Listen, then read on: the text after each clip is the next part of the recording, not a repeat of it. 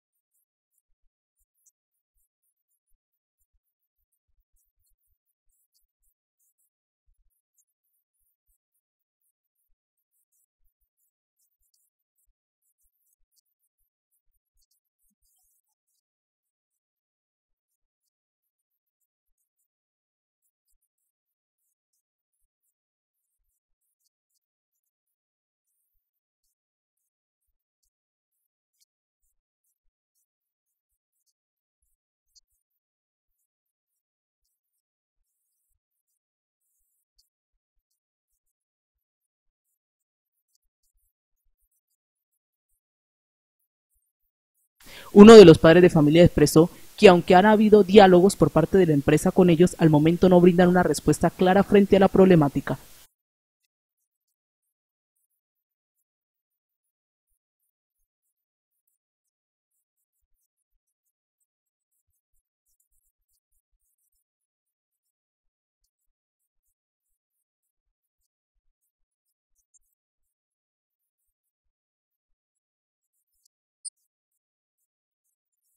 Por su parte, una madre de familia manifiesta que no tiene ninguna seguridad de cómo su hija va a estar en el lugar de destino de excursión, pues si aquí en Colombia se han presentado múltiples inconsistencias por parte de la empresa de turismo, no se imagina cómo puede ser ya en el viaje donde nadie le puede dar una solución.